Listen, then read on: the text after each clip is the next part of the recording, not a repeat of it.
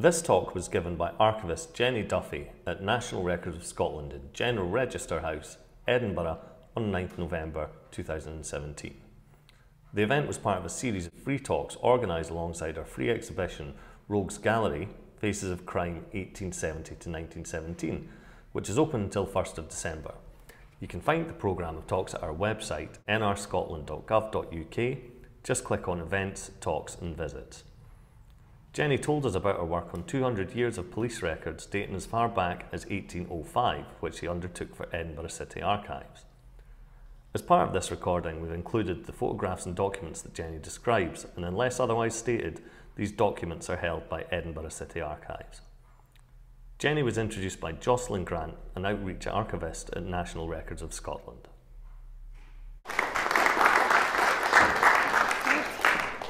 Thanks, Jocelyn. Um, I'll just put that away. So, um, yeah, good morning. Thank you all for coming. Um, I'm delighted to see so many of you um, here. Um, I really hope you enjoy the talk this morning. I've got some great things to show you, um, most of which have never been seen before. So, just to give you some background to the Rogues and Auld Reekie project, Edinburgh City Archives received a grant in 2016 to catalogue their police records. These had been deposited over a period of 20 years um, from various different sources. Um, some came from the High Street Police High Street Information Centre. Um, there was a, a, museum in Leith Police Station. Some records came from there. Some were individual donors. And then various station clear-outs over the years, and most recently from Police Scotland itself. Um, so when I started last September, um, I had 12 months to catalogue um, the records. There was approximately 150 unopened boxes um, of records um, spanning 200 years of, of police history in Edinburgh and the Lothians. So there's a lot of material, all jumbled up. Um, the oldest item we have is a complaints book from 1805. Um, and they related to nine different police forces, um, all of which over the years amalgamated to become Lothian and Borders Police in 1975. So it's a wonderful collection. It's given me a real appreciation of what must be a profession that experiences extreme highs and extreme lows. Um, there's some real harrowing tales in there, um, but they sit alongside records relating to royal visits, charity events, Hogmanay, Commonwealth Games. So um, real, real extremes. So this morning I'm going to talk about some of the highlights. Um, it was really difficult to choose what to show you this morning because there's so much. Um, just before we start, some of the records that didn't make the cut, um, we had um, 19th century architectural plans of police stations, some of which are beautifully um, hand painted. Um, they're just really too large for me to photograph and, and show you today. So, so unfortunately, they're not, they're not going to be on display. Um, records relating to the first road bridge opening in 1964. These were recently displayed on the Edinburgh City Archives Facebook page. So I missed them off. Um, and mugshots of the Wallyford Teddy Boys who terrorised East Lothian in the 1950s. And I left them out just in case any of you are here today to take the risk. First half of my talk, I'm going to introduce you to some distinct record sets. Um, and then the second half of my talk, I'm going to concentrate on some of the stories um, of the individuals who appear in the criminal photograph albums, which are the focus of the exhibition um, downstairs. So first up, a few photographs. There's a large number of photographs in the collection showing personnel, police vehicles and equipment, police stations, and of course criminal investigations. First one, this is one of the oldest photographs, oh, one of the oldest photographs that we have. This is a detachment of Edinburgh City Police that attended the funeral of Queen Victoria in February 1901. There's no names on the photograph, unfortunately, but I can work this, this chap here in the middle in all his finery is Roderick Ross, and he was the Chief Constable of Edinburgh City Police from 1900 to 1935. The Scotsman also records that Inspector Forbes and Sergeant Watt attended, so these will be the two gentlemen hmm, on either side, sitting in the front here. Um, so they travelled down to London by train on the Friday afternoon, the funeral was on the Saturday, and they followed immediately after the royal carriages. The Edinburgh Evening News writes that the men presented a fine appearance and their magnificent physique caused general admiration. One of the things I particularly like about this photo is where is my pointer? Um, that they've gone to the trouble of bringing out this luxurious animal skin rug to sit on and have their photo taken. Um, right, the next photograph.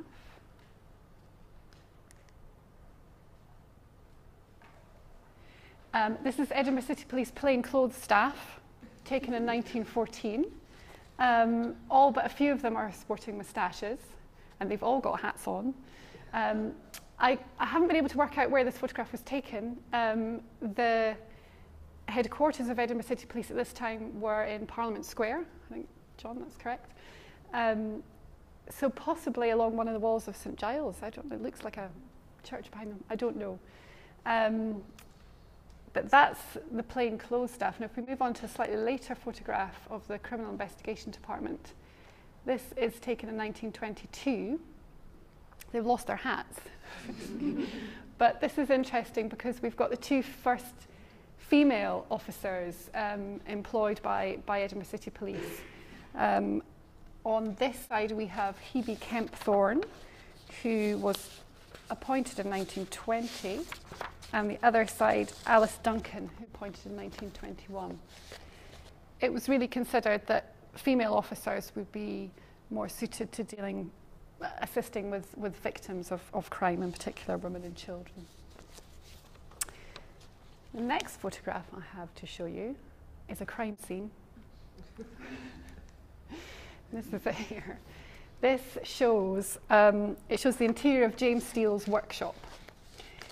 So James Steele, along with his partner Robert Ramsey, were convicted um, under the Coinage Offences Act in November 1930 and sentenced to three years in prison.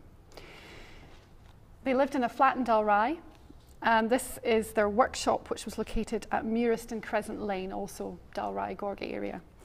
Um, it's no longer there. I've been to check. it's now modern flats. Um, but the pair were prolific counterfeiters. Um, coins made from the dies found in this workshop have been, had been identified by the Royal Mint as early as 1923, so they had probably been at it for a good seven years before they were um, discovered. Um, it was a postmistress on Elm Row that first thought something was amiss. She noticed that on the same day every week, um, a group of young lads were coming in um, buying postal orders with the same denom denomination of coins and it always included two half crowns dated 1920. So she thought this was quite suspicious. And she went to two different banks who um, reassured her that the coins were genuine. So she still didn't give up, and she felt, well, if the coins are genuine, there's something definitely suspicious about the boys. How are they coming into you know, possession of, of, of this money, and, and what are they up to? So she went to Edinburgh City Police, and they staked out the post office in Elm Row, followed one of the boys and saw him giving the postal order to James Steele um, in, in, in, Union Street. And he was taken to Gayfield Square Police Station where he was found to be in possession of counterfeit coins. Flat was searched and eventually the workshop was discovered. Um, the chief assayer's report in 1930 states that the offence is regarded as the most serious case of counterfeiting silver coinage, which has hitherto been recorded. Um, Jessie Tennant, the postmistress, she was awarded £50 from the Treasury for her efforts. Um, the trial records are, are, held here in the National Records, and uh, I have had a quick look, and there's quite a lot of correspondence between the police and James Steele's agent discussing the equipment. Um, it was obviously it was, it was confiscated by the police, but James Steele's agent um, said, "Well, it's actually it's my client's property, and, and we want it back." I don't know how much of it was returned to James Steele, um, but he was convicted again in 1960 of the same crime. Um, he was 45 in, 19, in, 1930, so he was still going strong uh, in his 70s. Right, the next set of records. Uh, general orders. So these were instructions um, issued by the chief constable to the men of the force. And they'd be so each station would keep a general order book um, general orders would be written down into the book and read out to the day force and then again to the night force when they came on duty. Um, it's, a, it's a huge collection. They were really quite prolific, um, sometimes handwritten letters being sent out every other day. Um, and they cover anything and everything from what the police are wearing and when they should start wearing it to, um, to what the people of Edinburgh um, are up to and what they're concerned with. Um, I used these in a school workshop recently because they also are really good at illustrating that the police, um, which is something that Dr. McGowan, who's here today, is talking on Monday, is always at pains um, to tell me throughout the project that um, the police are not just concerned with crime, they're also taking on tasks that, um, especially at this time, that were the responsibility of, or now the responsibility of council departments and, and, and charities, things like clothing destitute children, uh, looking after lost animals, inspecting property, and conveying the injured to, to hospital and also the dead to the morgue. Um, so there are a wealth of information. I've picked just a few examples to read out to you today. Okay.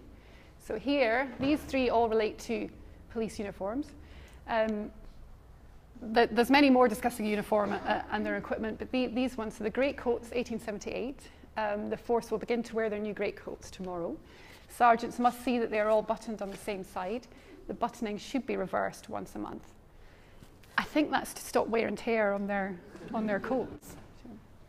The gloves, Chief of Police has much pleasure in distributing to the force a pair of warm knitted gloves for each man the white ones to be worn by the day force, the black ones by the night force. The Chief Constable directs that leggings be worn from now until 1st of March. So their uniform was really quite, quite heavily regulated and they all had to wear the same thing at the same time. Um, they were also issued with sponges to wipe off graffiti and they were instructed when it was appropriate to light their lamps or use their truncheons.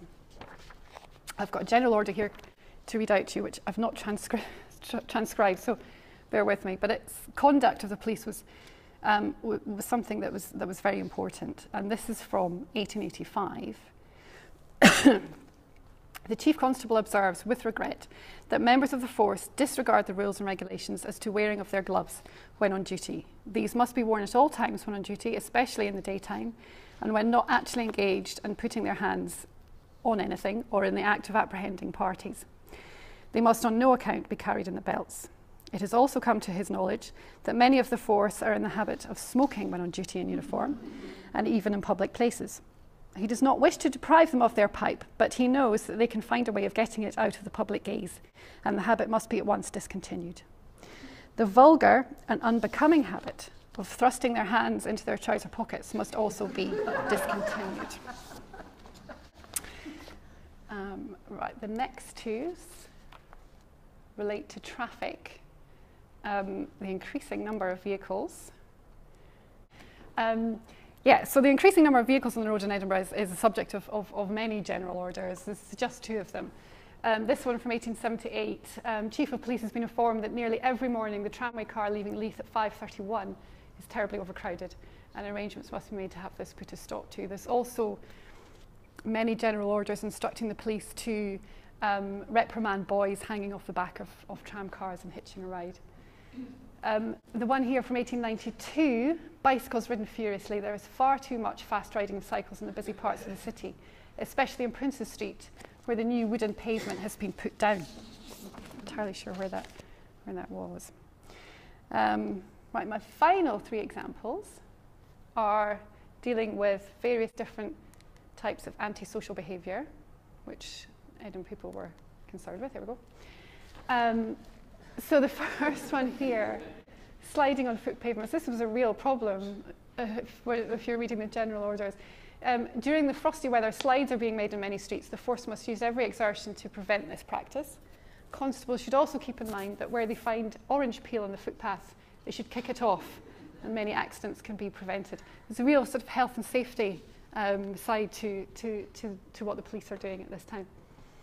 One in the middle here is probably one of my favourites um, uh, playing cat or tip cat. This was a kind of craze among the young children in Edinburgh. It's a form of cricket, I think, which is played with a small wooden, um, small piece of wood known as the cat. Um, so this game has become so common as to be a serious annoyance on the streets. Most of the players are very young boys who are quite reckless as to whether or not they knock the cat into someone's face. Constables should take the piece of wood and destroy it. And the last one here at the far side, um, flower pots on windowsills. Attention is called to the practice of placing flower pots outside windows without any proper guard to prevent them being blown down. Constables must see that persons offending in this manner should be warned. Um, that's 1883. And actually, interestingly, um, the, the complaints book from 1805, which is one of the earliest records we have, the, there's a lot of instances of, of, of this exact complaint, people having flower pots on their windowsills.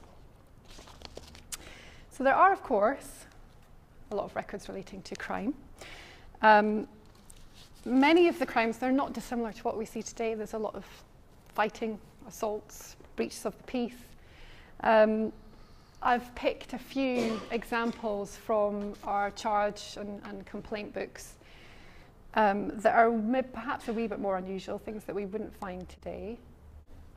First one here, uh, James Mitchell, 26. Again, it's this furious driving. Um, road surveyor, furious driving by recklessly and furiously driving a horse yoked to a gig through several streets between the hours of f- 4 and 5 on the 30th of April 1872 he was remitted to the Borough Court in Bathgate for, for sentencing.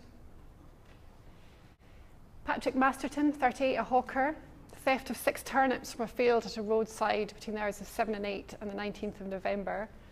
Um, he was found in possession of the turnips, um, which belonged to James Walker, uh, farmer in Whitburn. Um, and he was cited to appear in court um, a day or two later, but managed to abscond in the meantime. I don't know if he had the turnips with them or not.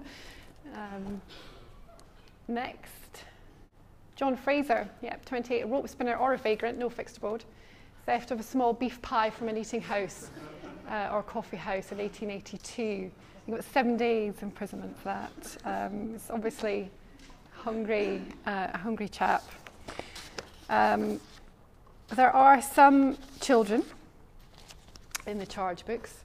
The next two surely must be two of the youngest. We've got Edward Duncan, seven, and James Patterson, five years only. Um, they were charged with malicious mischief by throwing stones and breaking 16 panes of glass in windows of a stable, a milk house, and a bothy um, between the 2nd and 3rd of April 1872. So there were no proceedings. they didn't have any punishment other than probably a, a, a telling off.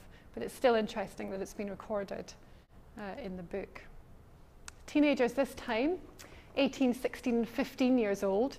Um, they were charged with a contravention of Burgh Police Act by playing a game of football on the high street in Linlithgow near to the grocer's shop um, at 5 pm on the 20th of June 1902. Um, so they were given the choice. They could pay a fine of two shillings or two days in prison. So they all paid the fine. Um,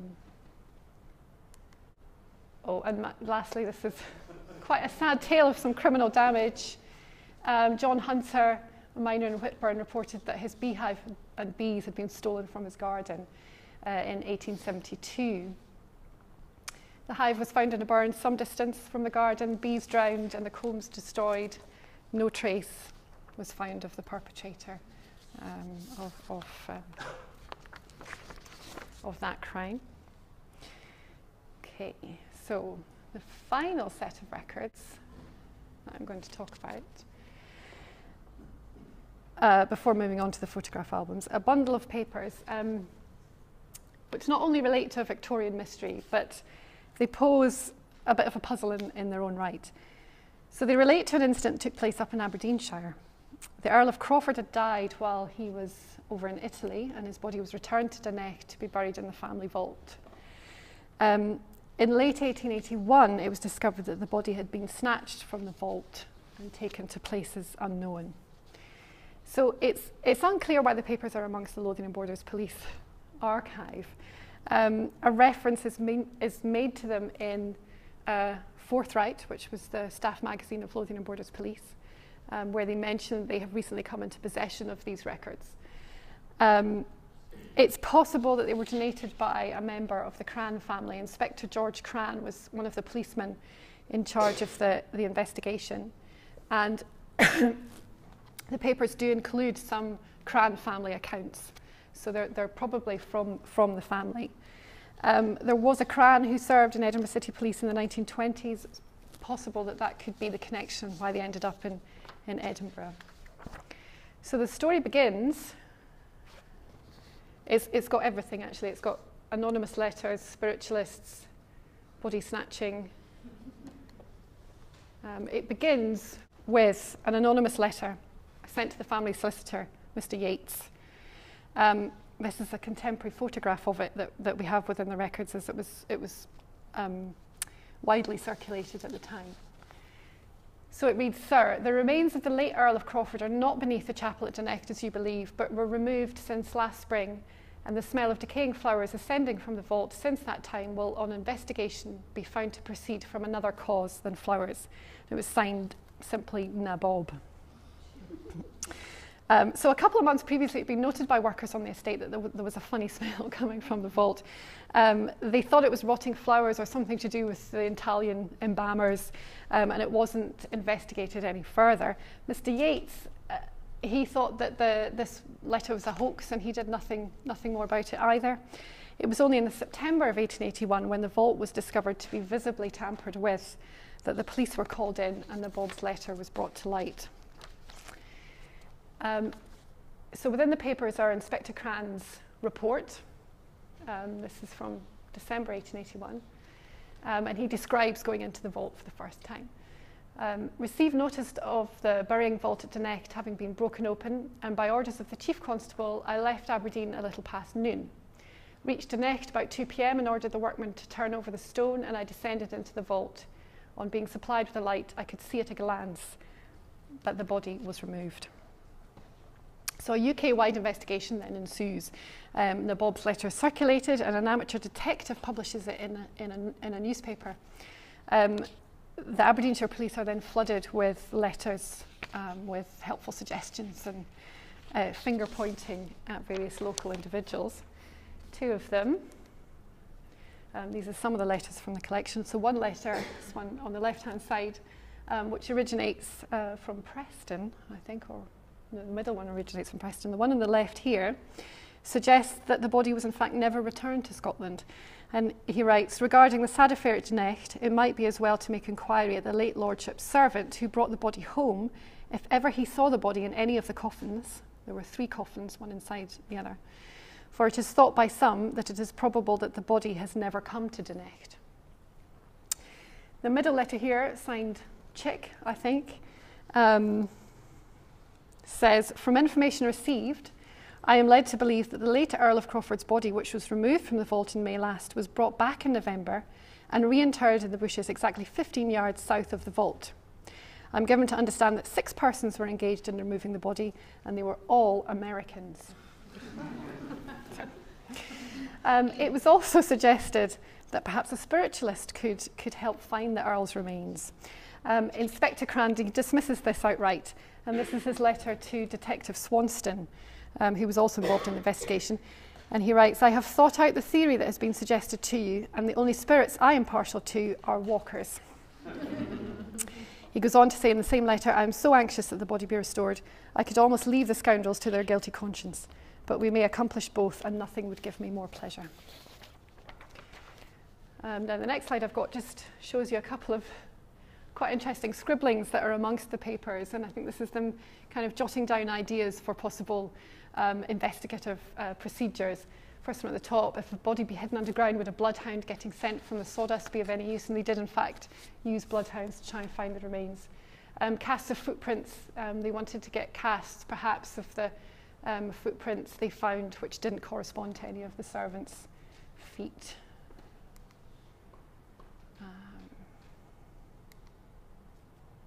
Okay. So they do, there's a lot of people taken in for questioning. They eventually arrest a local rat catcher by the name of Charles Souter for the crime. Um, he admits to being the mysterious Nabob and he says that he has written the letters. Um, but he consistently denies any involvement in the actual crime itself.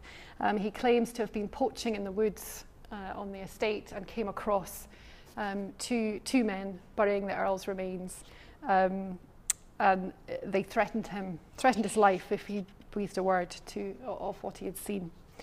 Um, so this is, again, from the papers, I think it's a contemporary transcript, possibly, of a letter written by Charles Souter um, during his trial. Um, he's, he's awaiting sentence. And he writes, Dear Kate, I now take the opportunity of letting you know that I'm well And I hope you're doing the same, for there may be many happy days in store for us yet. And whatever people think, you at least know that I am innocent. He was found guilty um, and he was sentenced to five years in prison. They did, on his evidence, find the remains of the Earl, um, which I think were taken down to Wigan uh, to be reburied down there. Um, right, so now I'm going to move on to the criminal photograph albums, which are the focus of, of the exhibition downstairs. And if you haven't had a chance to see it, please do go and have a look um, before you go today if you, if you have time. There are three um, criminal conviction uh, photograph albums, one from each of the Lothian constabularies, West Lothian, East Lothian and Mid Lothian. And they cover, uh, they both cover late 19th uh, to early 20th centuries.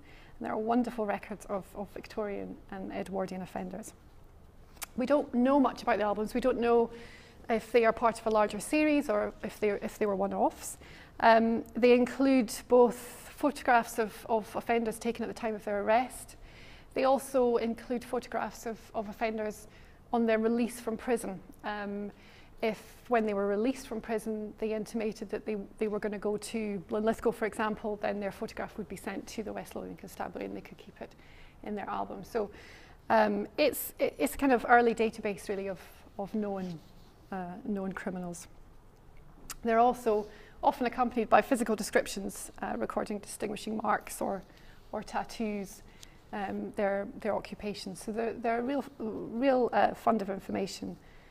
Um, the exhibition shows some more high profile criminals the, from, who were charged at the High Court for, court for serious crime.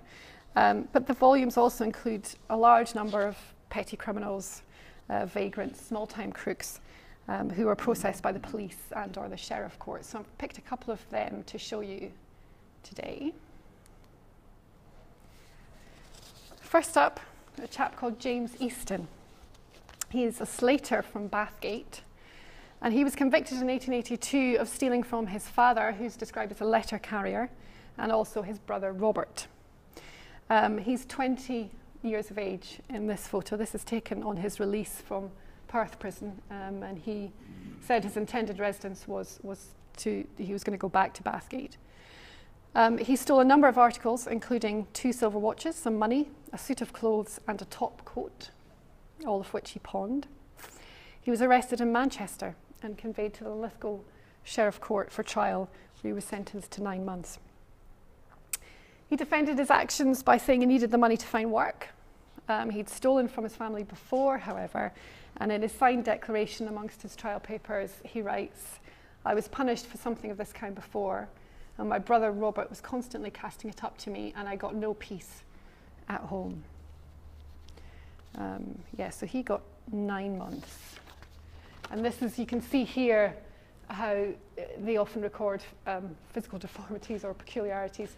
Um, so he's a cut to his left temple. Right, the next two individuals here, interesting uh, pair. Um, they were charged together also in 1882 um, with theft by housebreaking at a farm in Humbie.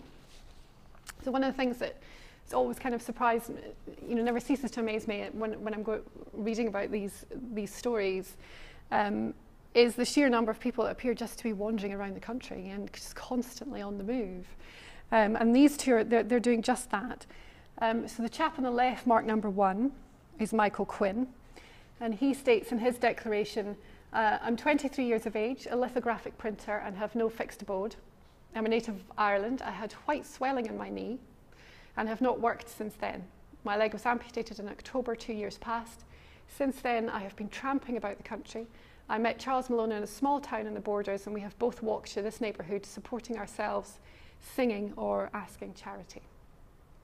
So, his partner in crime is Charles Malone, and he is 18 years of age, a farm labourer, a native of America. I was brought to this country when I was a year old and have since resided at Alnwick. I left Alnwick three weeks ago and fell in with Michael Quinn at Glanton we came by Coldstream and Greenlaw to Edinburgh. We came to Kirkliston on Saturday last. So they're just constantly uh, moving around.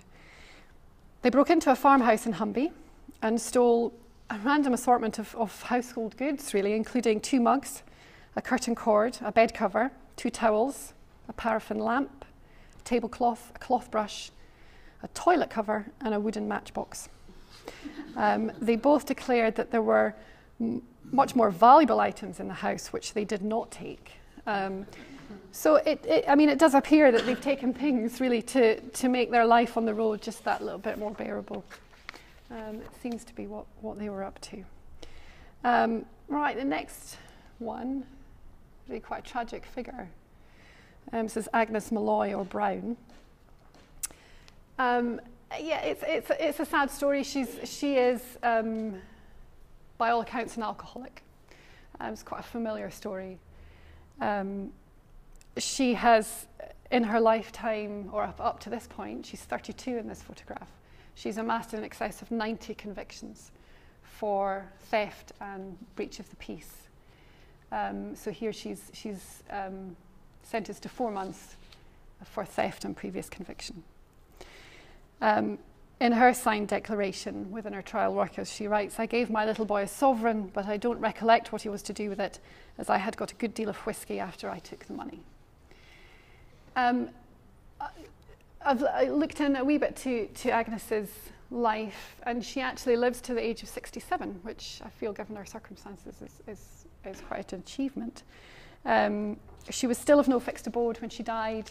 Um, she was found um, somewhat fittingly at uh, the distillery in Bo'ness in 1915. Her cause of death was heart failure. Um, okay, what next? This is one of my favourites. Um, this is a man called Benjamin Gray. Um, now, I know you shouldn't judge a book by its cover, but I'm not sure you'll be entirely surprised to learn that Mr. Gray here, he's a con man, he's a fraudster. Um, and he had a number of convictions um, uh, for theft committed uh, throughout the country. Um, so back in 1903, he was tried at Leith Police Court. Um, he was charged with pretending to a grocer on Bonnington Road that he was the chief steward on the SS Mona from Aberdeen. He ordered groceries to the sum of £7 to be sent to the ship and asked for a loan of 21 shillings, which he promised to pay the following day. Um, he was given 14 days imprisonment for that. Um, he's also he's got various convictions for theft, stealing a suit of clothes and underwear from a traveller on East Adam Street in 1905, uh, for which he got 40 days. The same year, he's sent to jail for 60 days for stealing five views from a pawn shop. I guess they're photographs or, or images of, of some sort. Um, in 1911, he gets six months imprisonment for stealing a bicycle from a shop in Duke Street by means of a story that he'd been sent by a gentleman in Leith to, to pick it up. And in 1912, he's given a year's uh, sentence for inducing again another grocer, this time in Abbey Hill, to supply him with a pint bottle of whisky. He goes back the next day and gets a quart bottle of whisky, a pound of bacon, and half a dozen eggs. Um, so the contemporary newspaper report, this is a transcript from one of them, um, which says it was stated that the prisoner had been addressing envelopes and was starving when he committed the crimes.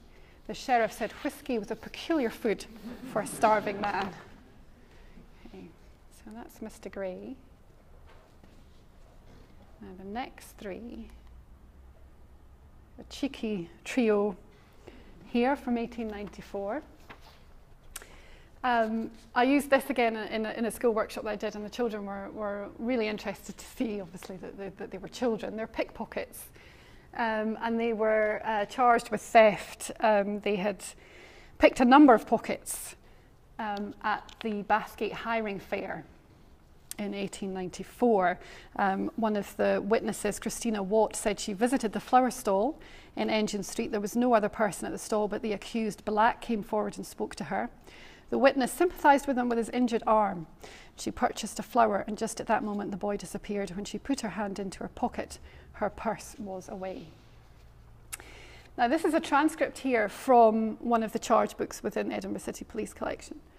Um, and I think if we look at the ages that are recorded, uh, John Black, 16 years, John Wilson, 17 years, and John Hendry, 16 um, they don't really look a day over 10 years old to me. So whether that's the boys or the police um, recording uh, the wrong ages there, I don't know. But they were each sentenced to a month's imprisonment. The mothers of the accused were in the court and explained the boys had left home and had not been heard of until they were arrested. They'd given false names to the police and said they belonged to Dundee.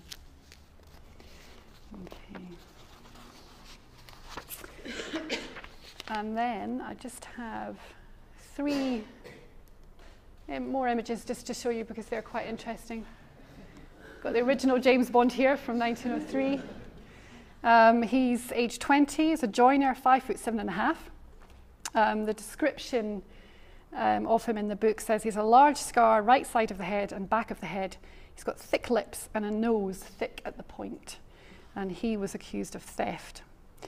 Um, and then George Washington here from 1907 is interesting. He's the only African American within the volumes. Along with two others, he broke into a house in Galashiels and stole a silver watch, two gold rings, and a gold brooch, and a silver thimble. His description says he's 24 years of age, five foot five, born in Pittsburgh, and his occupation is a sailor or showman. And this final picture here at the end um, is John Regan, 1875. The Edinburgh Evening News describes him as a rough looking fellow. Um, I really like this photo, um, mainly because it, it, shows two police officers just going about their business there, and he looks like he's really contemplating his fate uh, on the chair in the middle there. Um, he was tried at the High Court uh, for theft of a large quantity of cloth from a draper in Kirkintilloch and a large quantity of made up clothing from a general merchant in Broxburn. Um, he was sentenced to seven years imprisonment. So that is the end of my talk, actually. That's just a really quick overview of some of the highlights that are in the collection. It's a great collection, and there's so much more um, that I could have shown you today, but unfortunately, it's just not, just not the time.